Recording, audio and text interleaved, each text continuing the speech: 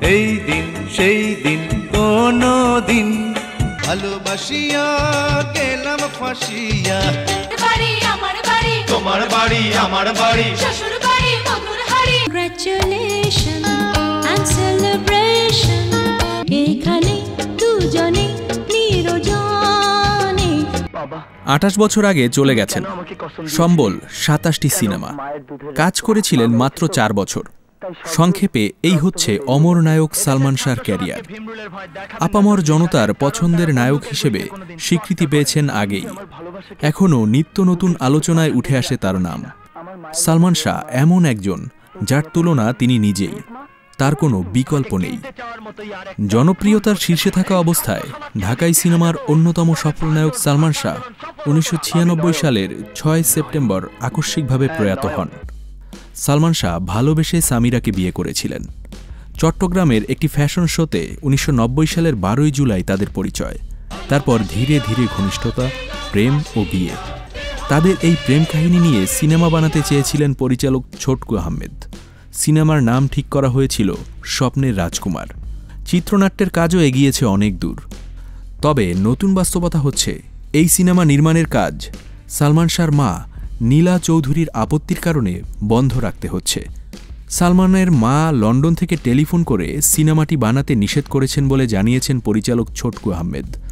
পরিচালকের ভাষ্য দু হাজার বিশ সালে সালমান শাহ অভিনীত প্রথম সিনেমার পরিচালক সোহানুর রহমান সোহান সিনেমাটির উদ্যোগ নিয়েছিলেন।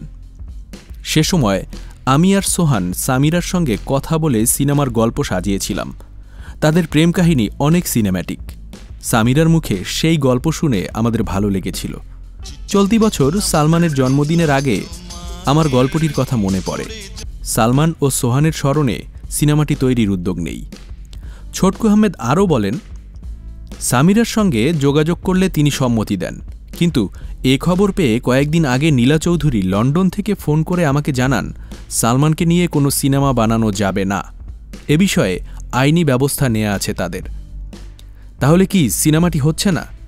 ছোটকু আহমেদ বলেন, নীলা চৌধুরীর এ সিদ্ধান্তকে সম্মান জানিয়ে সিনেমাটির কাজ স্থগিত করেছি।